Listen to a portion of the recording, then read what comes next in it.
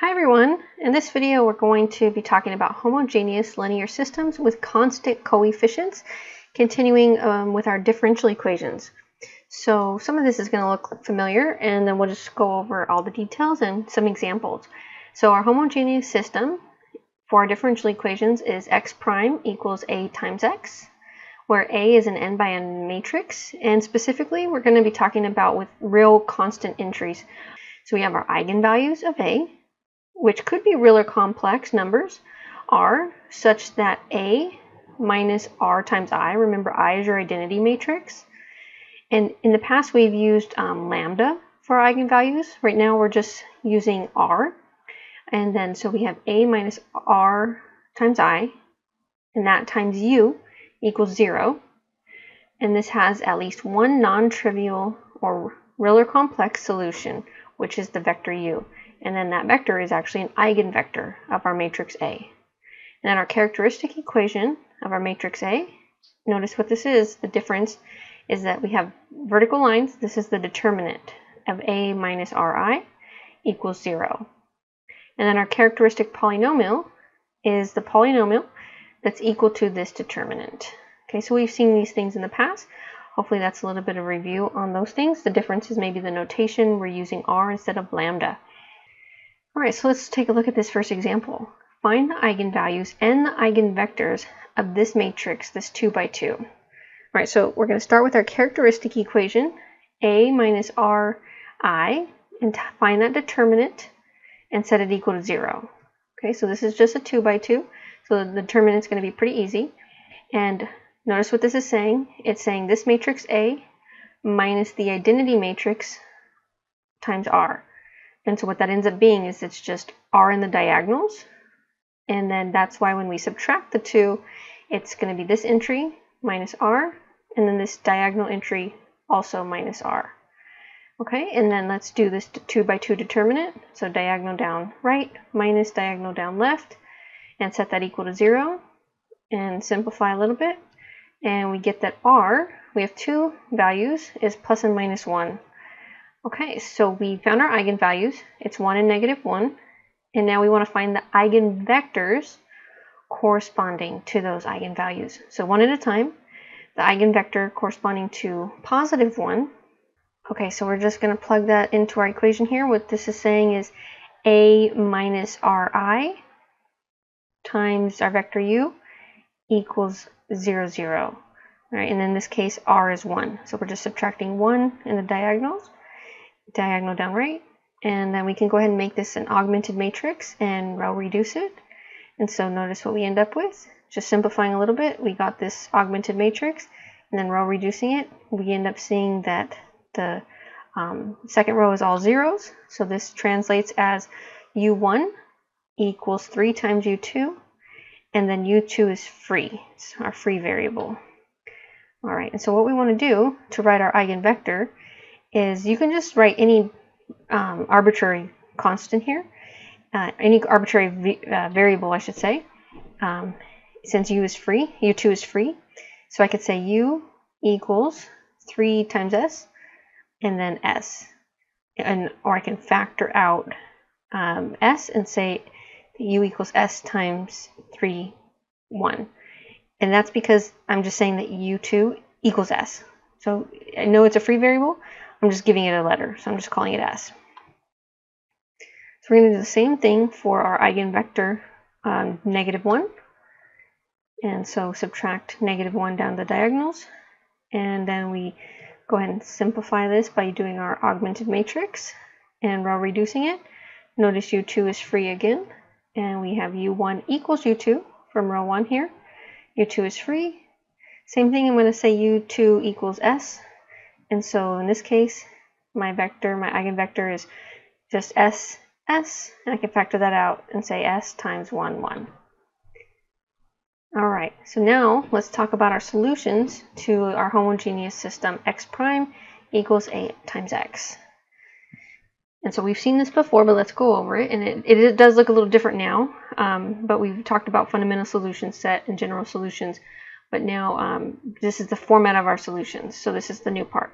So if A has n linearly independent eigenvectors, We're just going to call them u1, u2, and so on. And then it has corresponding eigenvalues, r1, r2, and so on. A quick example from what we just did, we had two. It was a 2 by 2 matrix A. We had two eigenvectors, and we had those two eigenvalues, um, negative 1 and 1. Then the fundamental solution set to this homogeneous system is the set containing these in, uh, these values here. And so notice this is um, really vectors. It's the vector u1, but multiplied by e raised to the eigenvalue times t. So r, remember r is your eigenvalue. So this is saying e to the eigenvalue times t times vector 1, e to the other next eigenvalue times t times vector 2, and so on, depending on the size of your matrix A. And this is our, your solution set. And then your fundamental matrix, capital X, is the matrix whose columns are these vectors. And then your general solution is the linear combination of these vectors. So notice the difference here for your general solution is you're saying there could be some constant times this vector u1 times e to the r1t plus some constant times the next one plus some constant times the next one and so on. So the ways that you can see your solutions for your homogeneous system. So now let's take a look at this example. So we've already done this, uh, but now we're going to find a general solution. We've already done half the work.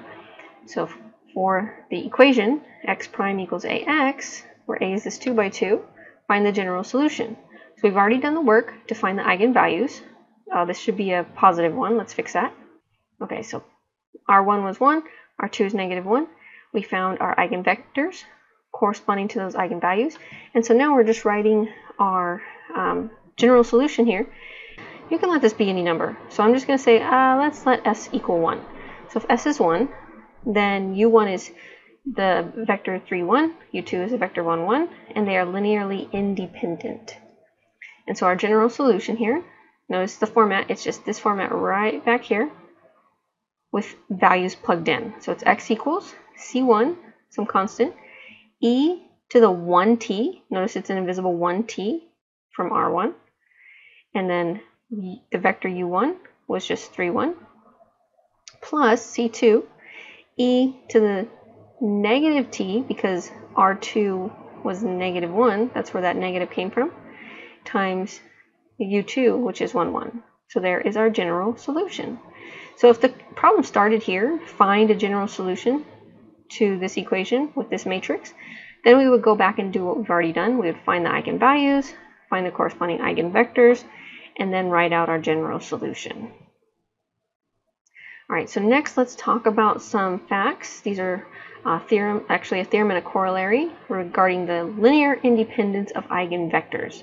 So first one here says, if R1 to Rn are all distinct eigenvalues for A, meaning they're different from one another, then the eigenvectors u1 to un that correspond to these eigenvalues are linearly independent. So basically this is saying if when you find your eigenvalues, if they're all different from one another, then the eigenvectors that you find that correspond to those values are all going to be linearly independent. And then a fact that follows that is the following. If A is an n by n matrix, and it has n distinct eigenvalues. And then we just say that u sub i is an eigenvector associated with a particular um, eigenvalue, r sub i. Then this fundamental solution set right here is the fundamental solution set to the homogeneous system. And so this is really similar to what we were just looking at and talking about. Um, the difference being that just previously we were saying that we started with um, n linearly independent eigenvectors. This time we're starting with the fact that we have n distinct eigenvalues. Okay, so putting these together basically says if we have n distinct eigenvalues, then our eigenvectors are linearly independent, then this is our fundamental solution set. So it's kind of a nice fact knowing just that if we have different eigenvalues that this is true. Okay, so let's take a look at this example. Solve the initial value problem. Notice that we have an initial condition because it is an initial value problem. So we have x prime equals this 3 by 3 matrix times x, where x of 0 equals this vector here. All right, so starting off, let's find the eigenvalues. So remember how that goes. You're going to solve your characteristic equation. Notice you have your determinant, where you've subtracted your eigenvalues down the diagonals. So this is equivalent to saying a minus ri. That's this determinant. And we set it equal to 0. So this is a 3 by 3, so you can do cofactor expansion across any row or column. I'm going to go ahead and do it across row 1. So I did color code it so you can kind of tell what's happening. So entry 1, 1 times the 2 by 2 here, the minor matrix 2 by 2, determinant. And then minus, so alternating signs, minus 2 times, if you remember how this goes, cross out the row and column of 2, and then that's why what's in green is here, and then plus this third entry here, and then cross out the row and column of that entry, and determinant of that 2 by 2. Okay, so that's what we have here, and this is all just a little bit of algebra, the next few steps. So multiplying, simplifying, and doing a little bit of factoring, we end up with the following we know that R1 is 1, R2 is 2, and R3 is 3. So we have three eigenvalues for this 3 by 3 matrix, and they are actually all distinct. They're all different. Okay. And so now we found our eigenvalues. Let's find our eigenvectors. So one at a time, we're going to um, work with each eigenvalue. So using the fact that our first eigenvalue is 1, subtract that for r. So basically what's here everywhere there's an R down the diagonals, just subtract 1. And so that's why we have this. And I made it an augmented matrix already, setting it equal to 0, 0, 0. Okay? And so if you row reduce this matrix, you end up with the following. V1 is 1 negative 1 half V3, V2 is 1 half times V3, and V3 is free. Remember, you always want to write your solution in terms of the free variable, if you have one. So because v3 was free, we wanted to write v1 and v2 in terms of the free variable. All right, so then our eigenvector corresponding to this first eigenvalue is s. So if I say v3 is just s, it's s times this vector negative 1 half, 1 half, and 1. But s can be any value, so I'm just going to go ahead and pick s to be 2 because it makes it a little bit nicer of a vector. I don't have to deal with my fractions any longer. So just by this choice, u1 is the vector negative 1, 1, and 2. Okay, so that's our, we found our three eigenvalues and our first eigenvector. We're going to repeat this process for R2 and R3. Okay, so for R2, just subtract 2 down the diagonals and set up your augmented matrix here. Row reduce it, and you'll get this result here. And so we have that u2 is s. So again, I'm letting the free variable be s. It's s time, and then times this vector, negative 1 half, 1 fourth, and 1. And this time I'm going to go ahead and let s be 4, again, just so I don't have to deal with fractions. And so my vector becomes negative 2, 1, 4. And then same process, we won't go through it again, but when you work it out with R3, you get U3 is negative 1, 1, and 4. So we found our three eigenvectors corresponding to our three eigenvalues. All right, so they are three distinct eigenvalues that we had originally. Therefore, these vectors that we found are all linearly independent based on our theorem that we looked at just a minute ago. All right, so now we're ready for our general solution. And so we have x equals c1 e to the first eigenvalue t, so that was e to the 1t times our first eigenvector, plus c2 e to the r2t, and that was a 2. So that's why it says e to the 2t times r2, or um, I'm sorry, vector u2, plus c3 e to the 3t, because our third eigenvalue just happened to be 3, and times the vector u3. And you can also write that like this over here as a matrix times this vector c1, c2, c3. Now, if we didn't have an initial condition given, this would be the end of it. This would be our general solution. But we have an initial condition, so we need to use it. Okay, and so this says if we plug in 0 for x, then this is the result. And so basically, notice where that's going to take uh, the place of, it's going to take the place of t. So we have everywhere here, it's going to be e to the 0, which is 1. So it's going to be c1 times 1 times this vector plus c2 times 1 times this vector plus c3 times 1 times this vector. And so what that ends up looking like is the uh, matrix where the columns are just these vectors. And then we can times that by the vector c1, c2, c3. And we know what that should equal. The given vector, negative 1, 0, 0. And so let's go ahead and write this as an augmented matrix and row reduce it. And so here's our augmented matrix form. After some steps in row reducing, we end up with the following. And so we have the C1 is 0. That's from row 1. C2 is 1 from row 2. And then C3 is negative 1 from row 3. And so we put all that together for our final actual solution. So basically you go right back here to your general solution, but plug in your values for C1, C2, and C3. So because C1 was 0, this whole term is gone. Notice it's not, it's not here. Uh, C2 was 1, so notice that this starts with the invisible 1 times e to the 2t times this vector.